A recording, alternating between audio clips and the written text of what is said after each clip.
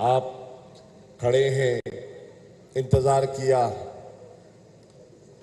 इस्तकबाल किया और हमें मौका, इनायत किया कि हम चंद गुजारिशात आपकी खिदमत में पेश कर दें कि हम आज सिंध के मुख्तलिफ़ बाज़ारों में, शहरों में गली गली कूचा कूचा जो फिर रहे हैं, उसका मकसद क्या है, हम चाहते क्या हैं, हम कहने क्या आए हैं? लेकिन इससे पहले कि मैं अपना मकसद बयान करूँ, मैं भी सैयद अली जैदी साहब की बात की तायद करूँगा। और आज जो पिशावर में एक अफसोसनाक दहशतगर्दी का वाक़ हुआ है, उसकी पुरजोर मजम्मत करूँगा। ये वाक़ात जो हो रहे हैं बहसीत वज़ीर खारजा, मुझे इल्म है कि कौन सी कुतें इनके पीछे हैं। कौन है जो इनको असला दे रहा है? कौन है जो इनको वसाइल मुहैया करता है?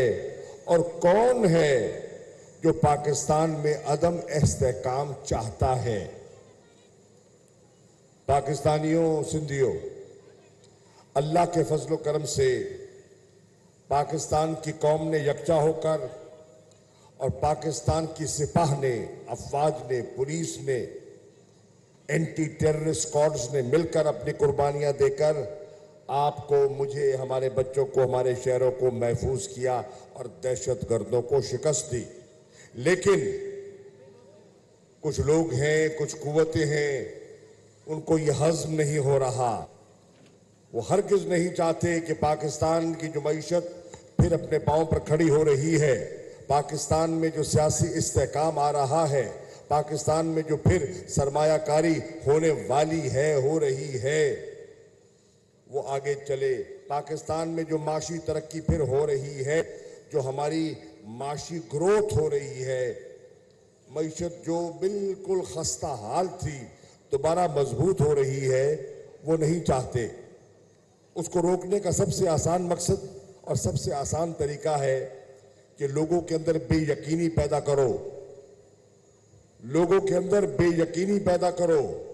सिंधियों, समझना कि आज ये जो हमारे मुखालफिन कर रहे हैं, ये भी मुल्क में बेयकीनी पैदा करने की कोशिश कर रहे हैं।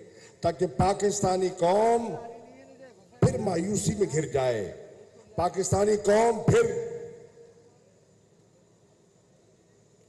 फिक्रमंद हो जाए अपने मुस्तकबल के बारे में।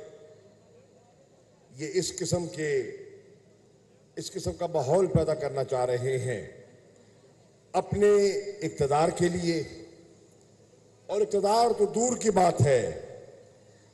अपने आप को एहतसाब के अमल से बचाने के लिए वो ये सारा नाटक रजा रहे हैं।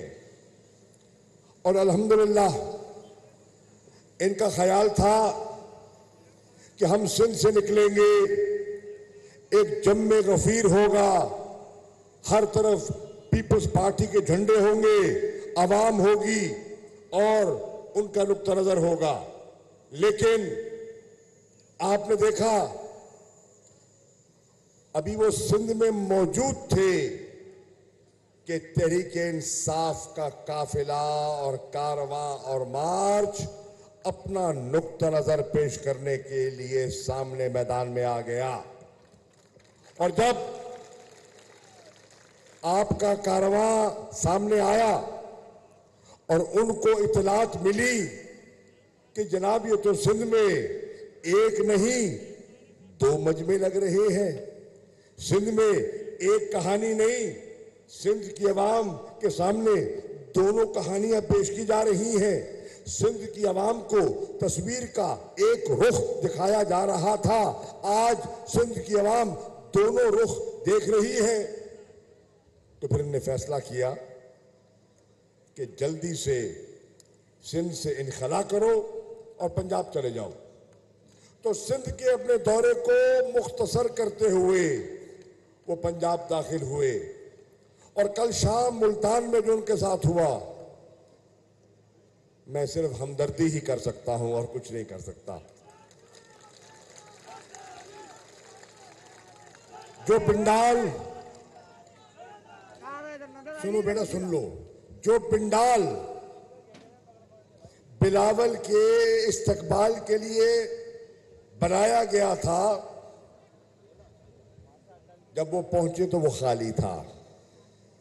उनको उस पिंडाल की जगह तब्दील करनी पड़ी और बाईपास के चौक में गाड़ियाँ खड़ी करके ट्रैफ़िक बंद करके मीडिया के सामने एक नमूना पेश करना पड़ा। यह था इनका इस्तकबाल। और अगर किसी को शक है तो कोई मीडिया का सीनियर रहनुमा मुझसे रबता कर ले।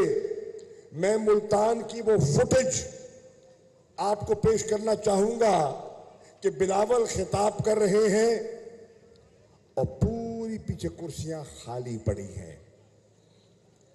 देखिए, याद रखिए, सच्चाई में वज़न होता है। सच्चाई में वज़न होता है। चाहे आवाज़ धीमी क्यों ना हो? चाहे आप हल्का क्यों ना बोलें, अगर वो आवाज़ सच्ची है तो वजनी होगी। और अगर आपकी बात में सच्चाई नहीं है, आप जितना चिल्ला चिल्ला के गुफ्तगु करें, लोगों पर वो असरअंदाज नहीं होती। आज यही हो रहा है, क्योंकि पंद्रह साल से जो बिलावल कह रहा है या उसके और साथी कह रहे हैं, पंद्रह साल से सिंध के लोग वही कहानी वही कहानी, वही रिकॉर्ड वही टेप अच्छा ये बताओ, एक फ़िल्म लगती है, मैं एक मिसाल दे रहा हूँ। एक फ़िल्म लगती है, लोग कहते हैं, बड़ी आला है। लोग शौक से जाके देखना चाहते हैं, देख भी लेते हैं। बहुत पसंद आए। दूसरी दफ़ा देख लेंगे। बहुत ही पसंद आए तो तीसरी दफ़ा देख लेंगे। ये पीपी की फ़िल्म तो पाँच दफ़ा लग चुकी है, लोग देख चुके हैं। अब थक गए, नहीं देखना चाहते। ये फ़िल्म इतनी दफ़ा सिंध के आवाम देख चुके हैं कि अब अब बुलाते हैं, मुफ़्त टिकट के दिखाते हैं, लोग देखना नहीं चाहते। कहते क्या देखे? सब कुछ तो देखा हुआ है, सब कुछ तो सुना हुआ है। नई बात क्या है? नया चेहरा क्या है? नया अज़म क्या है? नया फलसफा क्या है? नया मंशूर क्या है? नया इरादा क्या है? कुछ नहीं कुछ नहीं। टंड मोहम्मद खान के लोगों, कुछ नहीं। इसलिए ये रिकॉर्ड अब घिस गया है। अब सिंध के लोग। पंजाब तो पहले ही मुस्तरद कर चुका था। खैबर पख्तूनख्वा तो पहले ही मुँह फेर चुका था। आज़ाद कश्मीर गिलदिस बल्तिस्तान तो फैसले ही फैसला कर चुके थे। अब सिंध में भी मुझे ये फ़िल्म चलती दिखाई नहीं देती। नहीं चलती दिखाई देती। बहुत चल गई। बहुत चल गई।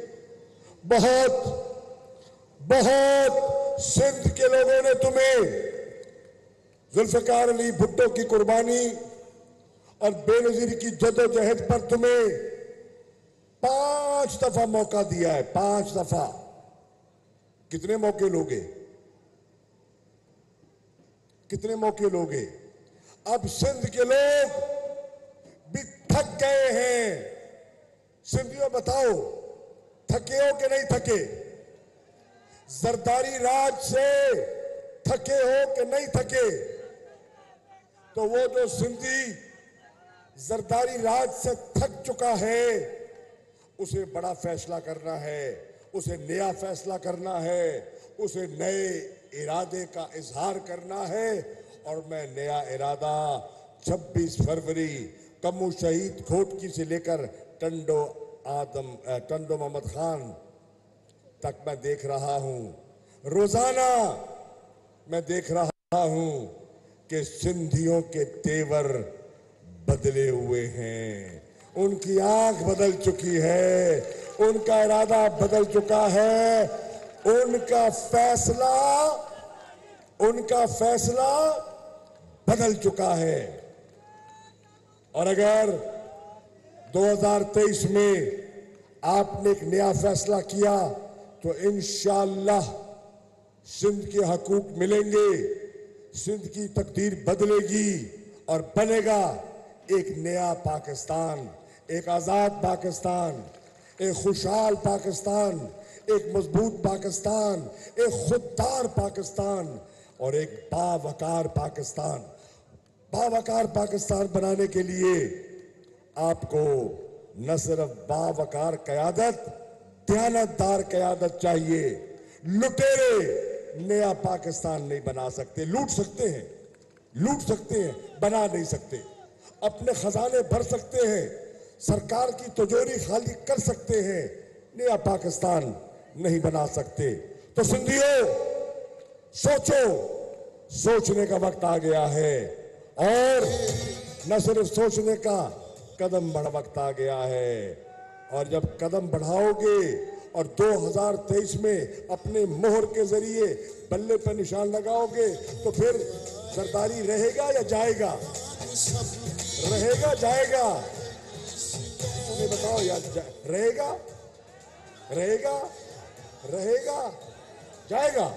भेजोगे? भेजोगे? कहाँ भेजोगे? कहाँ भेजोगे? कहाँ भेजोगे? कहा भेजोगे? बड़ा सख्त फैसला कर रहे टंडो मोहम्मद खान बड़ा सख्त फैसला कर रहा है। कहा भेजोगे? ओ हो हो हो। मुझे तो डर लग रहा टंडो मोहम्मद खान में यार। सख्त है टंडो मोहम्मद खान सख्त है। तो आओ फिर, अगर हिम्मत है तो टंडो मोहम्मद खान से जो आवाज़ निकली रात बदीन में तीर को तोड़ो और सिंध को तीर को सिंध को जोड़ो। तीर को तोड़ोगे, सिंध को जोड़ोगे तो इंशाल्लाह बनेगा। एक खुशहाल सिंध तो आओ, मिलके उनको कह दे। ना चाहते हुए भी कह देते हैं, दोनों को, छोटे जरदारी को भी, बड़े को। अलविदा अलविदा। आसिफ जरदारी अलविदा अलविदा। अलविदा। अलविदा का मतलब समझते हो अलविदा का मतलब होता हूँ वनो मगरू लहो। थक गए थक गए बस करो। थक गया सिंध सो इंशाल्लाह आइए इस अजम के साथ, इस कारवां को अपनी मंजिल की तरफ़ आगे लेकर जाएँ। टंडू मोहम्मद खान के लोगों का मैं दिल की अता गहराइयों से शुक्रिया अदा करता हूँ और दुआ करता हूँ कि अल्लाह ताला आपके शहरों को आबाद रखे, आपको हर मुसीबत से महफूज रखे। पाकिस्तान, तहरीक इंसाफ, इमरान खान और टंडो मोहम्मद खान की गयूर अवाम शुक्रिया। वज़ीर खारजा मखतूम शाह महमूद कुरैशी, टंडू मोहम्मद खान में सिंध हुकूक मार्च से खिताब कर रहे थे।